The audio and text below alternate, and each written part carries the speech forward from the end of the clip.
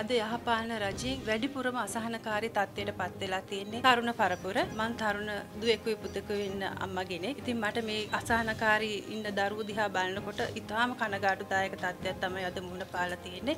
ඒ වගේම අධ්‍යාපනයේ පැත්තෙන් ගත්තොත් මේ යහපාලනයේ ඉන්න බලධාරී නිතරම අධ්‍යාපන ක්‍රමය ක්‍රමවේදය වෙනස් කර කර යනවා. ඒ වගේම විශ්වවිද්‍යාල සිසුන් හැමදාම දැක්කොත් උද්ඝෝෂණවල පහර කැම්බරට ලක් වෙනවා. දෙමව්පියෝ මොනතරම් දුක් මහන්සිලාද ඒ දරුවෝ උගන්වලා මේ විශ්වවිද්‍යාලයට එවන්නේ. අන්තිමට ඒ දරුවන්ට අනාගතයක් නැහැ.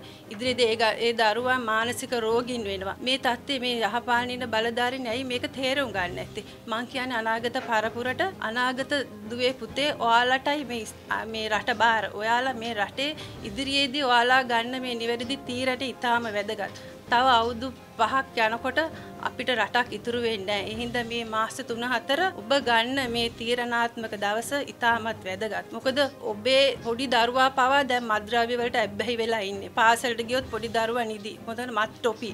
අතිගරු මහින්ද රාජපක්ෂ මැතිතුමා ඉන්න කාලේ ওই පාසල් වල ළඟට කිසිම වෙළඳෙකුටවත් ලං වෙන්න දුන්නේ නැහැ. මොකද ගෝඨාභය රාජපක්ෂ මැතිතුමා ඒ තරම් ආරක්ෂාව තර කරලා තිබ්බේ. දැන් එහෙම නෙමෙයි. දැන් පොඩි දරුවා පවා මත් පෙත්තක් මත් ටොපියක් ගන්න පුරුදු වෙලා පාසලට ගියාම උන් අධ්‍යාපනයක් ලබන්නේ නිින්ද යනවා. ඉතින් මේක මොනතරම් දෙමව්පියෝ මොනතරම් අසහනකාරී තත්ත්වයට පත් වෙනවද?